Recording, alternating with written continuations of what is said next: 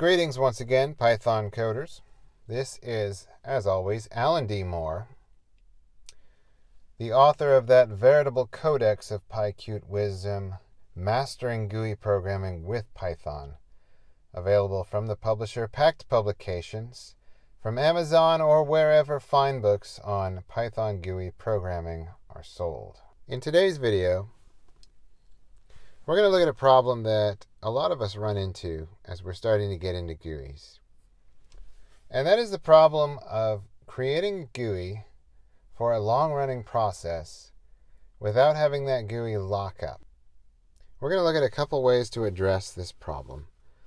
So today I've written a little program um, and it is a file hasher. So it takes a path and I've written this little function here, and what it does is it goes through all the files that are under that path and all the subdirectories and the sub-subdirectories and everything. And it gets the, the SHA1 hash of that file, and it will yield up a, a string of the path name and what the hash is. So I don't want to go into detail in this function uh, this is actually what we call a generator function because I'm using the yield keyword. And that might be a little over your head if you're if you're new to Python. Essentially what this is is it's a special function. It's going to return a generator. And a generator is like an iterable, but it only calculates the next item on the list one at a time. So as you iterate through this generator, it's only going to do enough work to, to get the next item on the list in real time. Uh, and that's important because um, whereas a function that would just return a list or something would have to do all that work up front and then return a big list, which you would then iterate through. A generator is, is only going to uh, need to do a small amount of work every time we iterate over it. Okay, but I'm not going to dig into that. That's, that's kind of beside the point. The real point is that this is a process, this function is a process that is long running. Okay, depending on what directory you give it, if you give it one of your top level directories, maybe, it could take minutes, even hours to run on your computer. And it's also a process that can give you regular feedback if you program it right. Okay, so down here I've got a main window. And in my main window, I've created a form. Uh, that form has a line edit where I can type in a file root, so like a, whatever path I want to uh, dig into.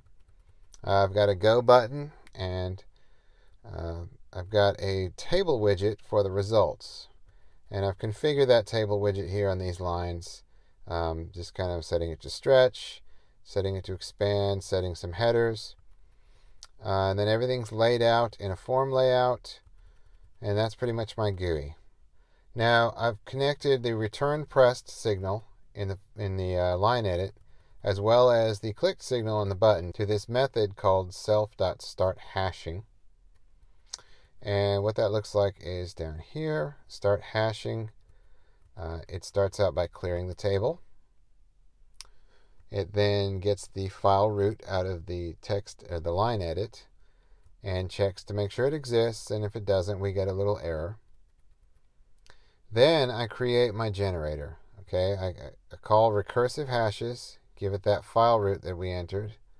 Um, and then I, that gives me my generator, which I can iterate here. And I'm just going to iterate that with a for loop, getting the name and the SHA1 sum for each file. And then we call this add hash to table. That looks like this. So it just uh, adds a new row to the to table widget. And then it sets the first column to the name, second column to the uh, checksum. And then just so that we can check up on this on the command line, I'm also printing those values. Since I've made this a generator, my expectation is that as I loop through this, okay, every time I'm adding a row to the table. So as my utility hashes each file, I expect to see that row appearing in my table widget. Well, let's go ahead and run this.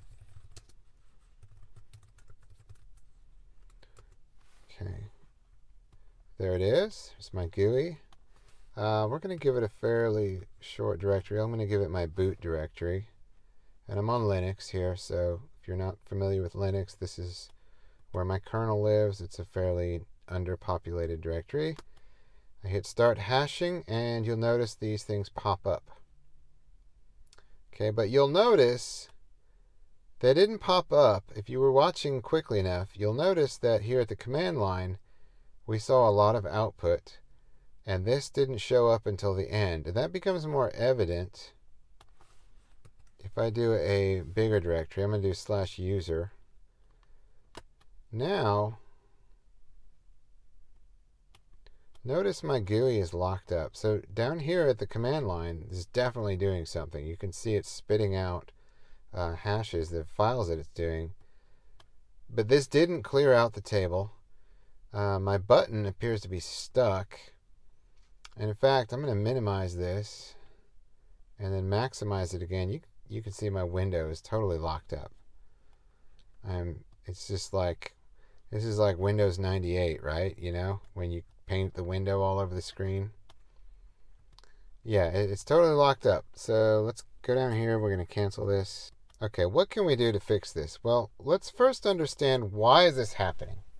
Why does this do this? Now, it seems like I'm adding the hash to the table every time that I pull something from the generator. And it is printing, so we know it's not like it's waiting to call this function until it's done all the work, right? Because I am using a generator. So why is it not showing up?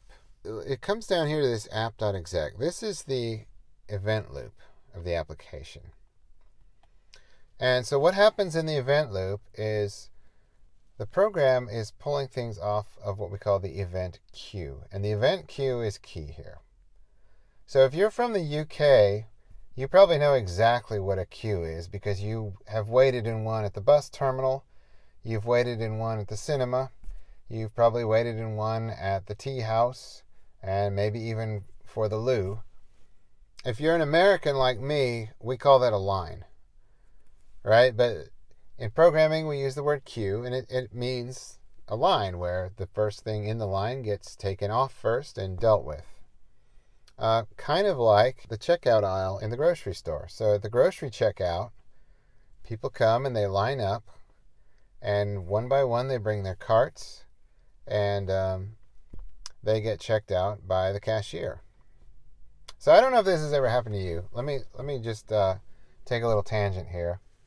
This happens to me every now and then. So I'm on the way home from work, and I stop at the grocery store I'm just going to pick up two or three items, you know, loaf of bread, jug of milk, three pounds of bacon, uh, just basic essentials. I get in line, and just as I'm coming up to the checkout lane, in comes this guy, and he's got, you know, three or four friends with him, and he's got like five carts of food, right? Just loaded to the top with all kinds of food.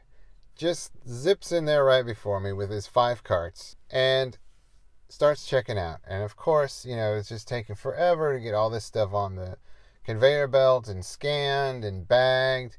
And, you know, he's sending somebody back to swap something out because it got smashed or whatever. And it's taking forever. So finally, they get all the food, you know, run through the scanner. And then this guy pulls out like a dossier full of coupons, you know. So then he's getting all those scanned and you know arguing about well this should be 25 cents off every can of biscuits not just the first can of biscuits you know whatever. They get all that sorted out and then of course it's time to pay and the guy doesn't have cash and he doesn't have a credit card. He's you know paying by like personal check or maybe some kind of title deed from the 1800s or you know like bartering chickens or something and they have to get a manager and a couple lawyers and a trade negotiator from the UN and you know, like just a huge mess.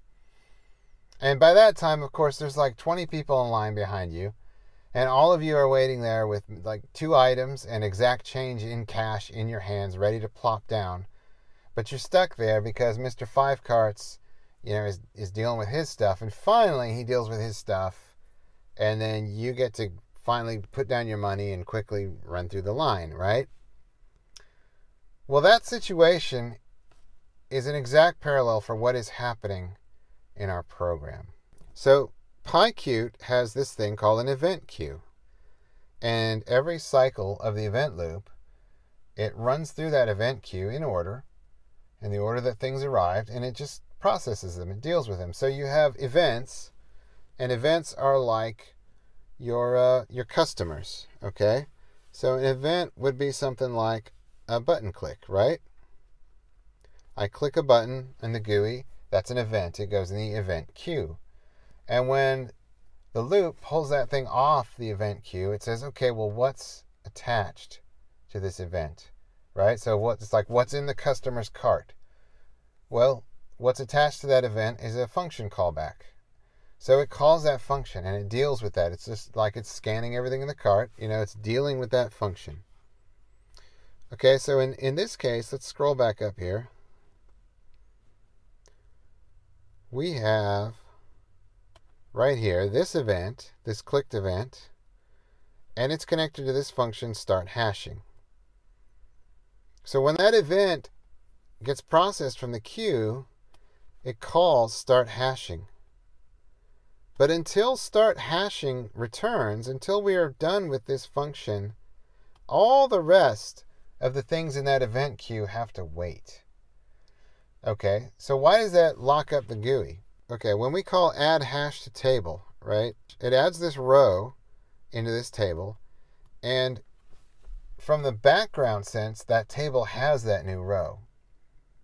But once it's got that new row, it emits a signal to repaint itself. It says, hey, QApplication, right? I, I need to be repainted. So it doesn't do that right away. It puts that on the event queue.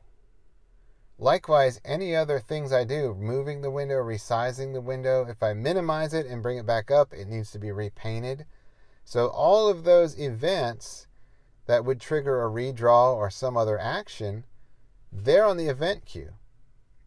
And those events are like me and the 20 other people at the grocery line who are sitting there. It won't take long to deal with us, right? We're, we're simple, small, quick events, but because Mr. Five Carts is up there getting checked out, we all have to wait. And that's exactly what's happening in this program. So the question then becomes what can we do? So, one thing that people try, let's think through the grocery store. What if we made Mr. Five Carts step aside and let's go ahead and deal with all those other people in line and then we'll deal with Mr. Five Carts. So, what they'll do then is they'll maybe put this for loop in its own function and they'll delay that function.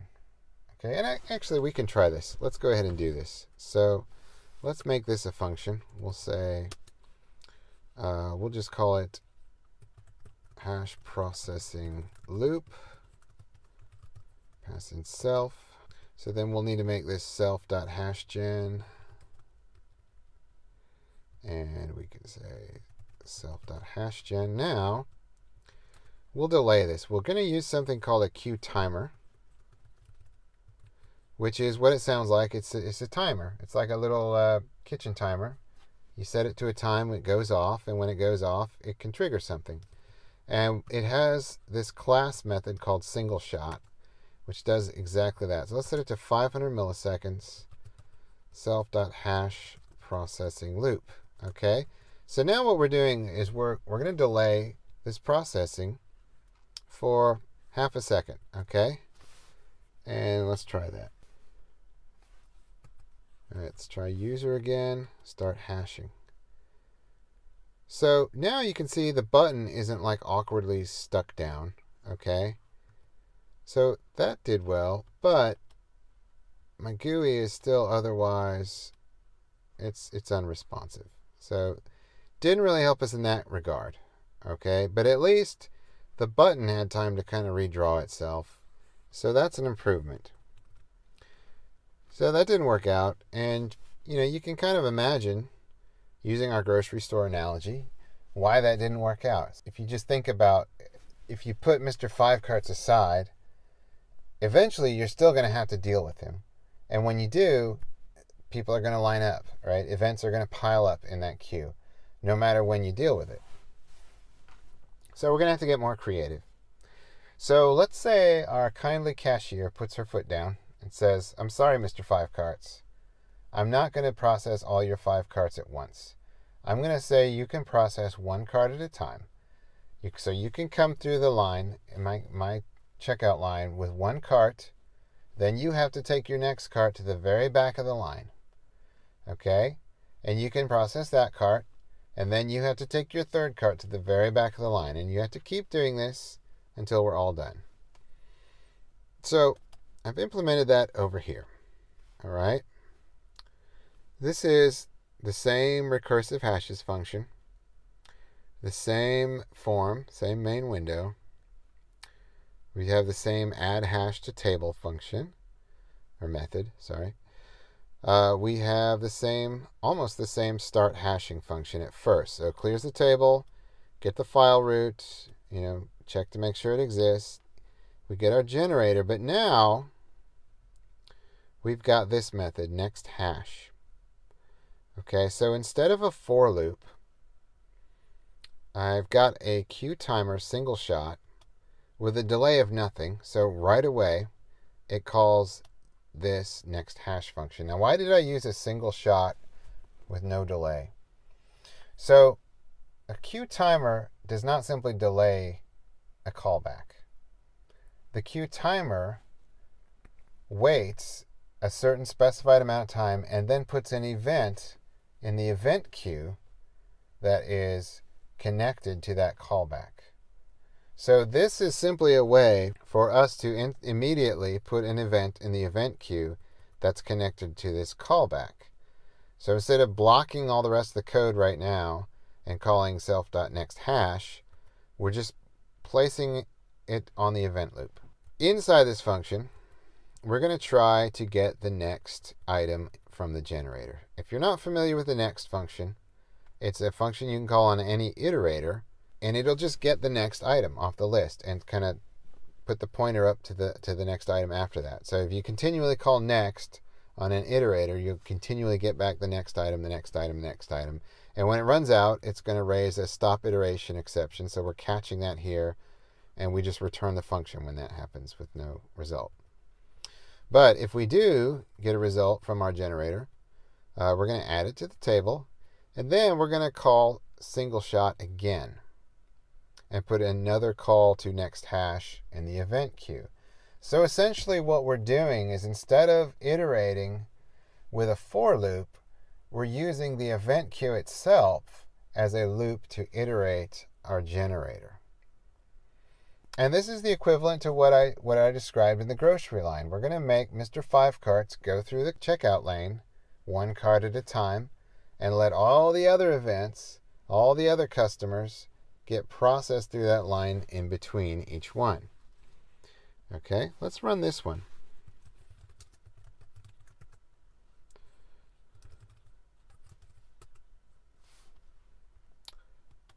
Okay, so we'll try user and start the hashing. All right, this works well. Look at that. So we are getting constant output. I can scroll it without any lag. My GUI is responsive, and that's great. So that is working out very well. I'm going to stop it because we don't need to do all that work. However, that seemed to work well. But what happens if we try it on a directory with some really big files? So I'm going to point it at my VirtualBox directory in which I've got some files that are tens of gigabytes, you know, 50, 60, some gigabytes in size. What happens then? Okay, so it starts out well, but now it's locked up again. I'm clicking all over this GUI. It is totally unresponsive. And you notice in the output down here that we're not getting print output down here. And what that tells me is that it is processing one file. So before we were getting lots of output in the in the command line, but nothing in the GUI, which told us that you know all the work was being done, but it wasn't being reported back. Well, now the work is still processing. So until that completes, this is going to be frozen. So what does that mean? Why is that happening? Well, think about our grocery store analogy. So we're making this Mr. Five Carts, as we call him, go through the, the line one cart at a time. But his cart may still have a hundred items in it. And that's still going to take a long time to process, even if it's just one cart. So if we're breaking up our long process into chunks, every chunk is still going to block, and we're still going to be stuck waiting for that chunk to finish, and our GUI is going to be locked up while we're waiting. Because if we block the event queue, all those drawing commands, all those mouse clicks, all those drags, typing, any kind of event is going to be stuck and waiting on that one part of the process to finish. Okay, so what do we do? Well, let's think about our grocery store. What's the best thing that the store manager can do when we're in this situation with a guy with five carts of groceries? Well, he can do what store managers never do, and he should open up another grocery lane.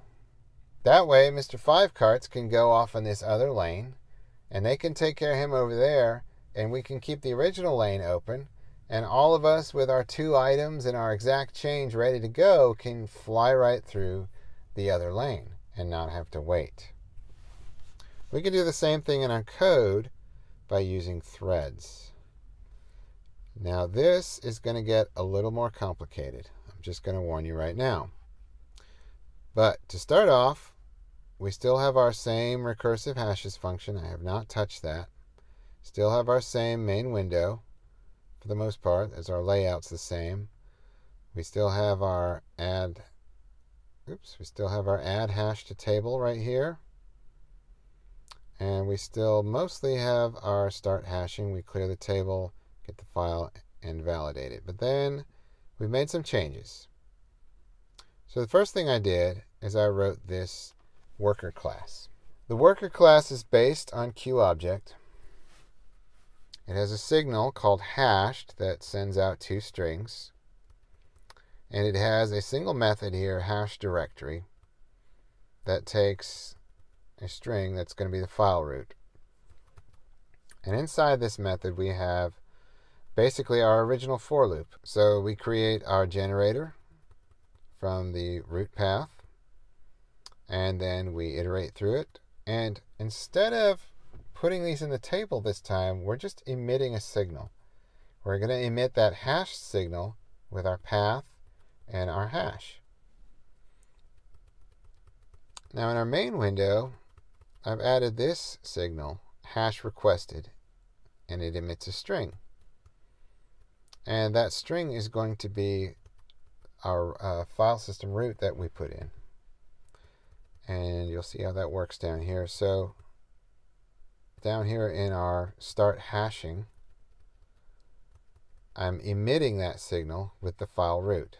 Okay, so after we've determined the file root and validated it, I simply emit hash requested with the file root. Now, up here in our init function, after our layout code, we're going to create an instance of our worker object. Okay, we're just going to call it self.worker. Then we're going to create an instance of QThread. And that's going to be our worker thread. Now, there's a few different ways you can use a QThread. The way I'm showing you today is the recommended way. And it's not recommended by me, which I, I do recommend it, but not just me. This is what the community, what you know, people much smarter than me and much more versed in PyQt than I am, will recommend that you do. Since our worker is based on QObject, it has this method move to thread. And we can pass that method an instance of QThread, and that will have the effect of taking that instance of this object of our worker class it will move it to a new thread. Okay? And it, it will execute it in a separate thread. Then we call start on the worker thread, which doesn't actually start it processing. It just kind of, it's like it turns on the thread. Okay? It's like we're, we're turning on the, uh, the light over this other checkout lane right here. We're starting it up. Okay? Finally, I connect some signals. So I've connected the hashed signal here to the add hash to table. So when the worker emits the hash, right? It's, it's going to emit those t- that tuple of uh, strings. That's connected directly to our add hash to table method that we've that we've had. Then I've connected our hash requested signal, which we emit whenever we submit our form, to the worker's hash directory method. All right.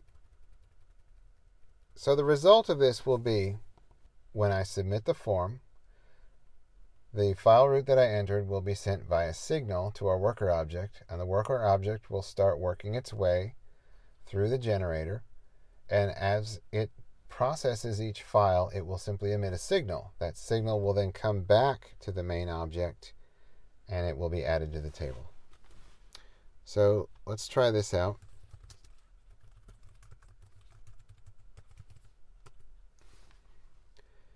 So once again, I'm going to give it my VM directory.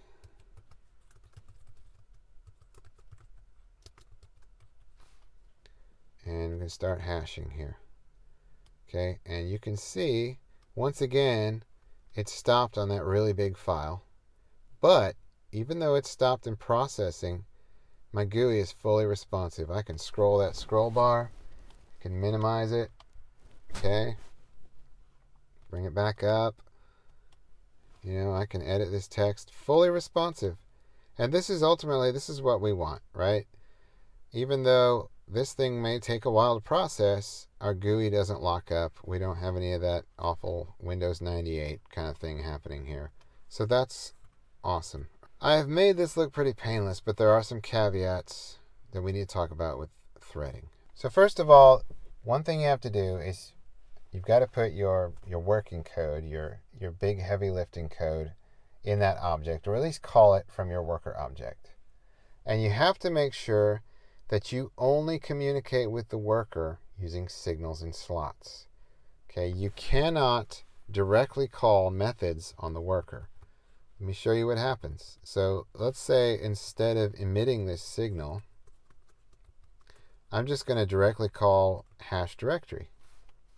Okay, let's see if that works. Let's do user here. And right away you can see, nope, that instantly broke it. Okay, we're, we're locked up again. Explaining why that happens is a little difficult. The way I like to think of it is anytime you are directly calling methods on that worker object, it's almost like you're pulling it back into the main thread.